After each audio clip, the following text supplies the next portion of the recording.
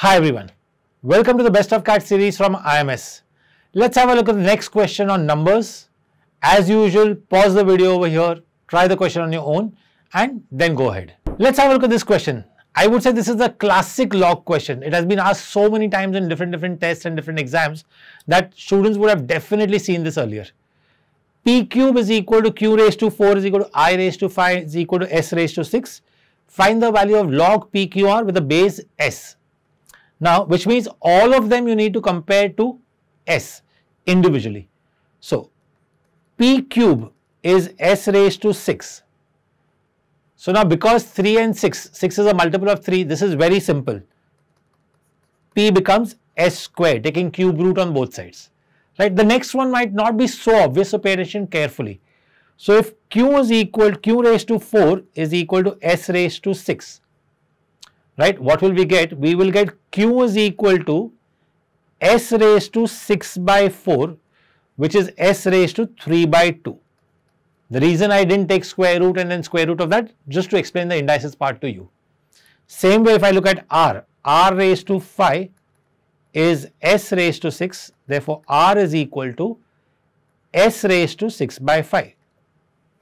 Now, let's take logs each time or do we want to even take it each time? Let's do it once very carefully and for the other two, I'll just write the answer same way like what I get for the first step. So if I take logs over here, I'll get log p is equal to 2 log s, right? Log p is 2 log s. So log p upon log s is 2. And from the properties of log, you should know log p upon log s is nothing but log p to the base s. So log p to the base s is 2. Once you understood this, suppose this is your equation 1. Once you've understood this, the others you don't have to do all over again.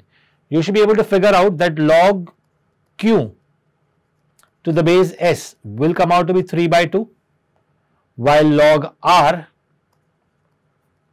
to the base s will come out to be 6 by 5. And now if I just go ahead and add, put it in the question, I want log PQR. Log PQR is nothing but log P plus log Q plus log R to the base S. So if I take the question and simplify that, it becomes log p to the base s plus log q to the base s plus log r to the base s, which is nothing but 2 plus 3 by 2 plus 6 by 5. Even if you convert it to decimal and do it orally instead of LCM, that's also very simple. 2 plus 1.5 is 3.5. 3.5 plus 1.2 is 4.7 which is nothing but 47 by 10 as in the options, the first option. So pretty straightforward and as I said a classic log question. You are bound to see this at least in one test in a year definitely. So if you're not looking only at CAT and looking at all the other tests, I would say that somewhere or the other you will see this question. Well, as usual, please solve the replica question and give your answers in the comment box.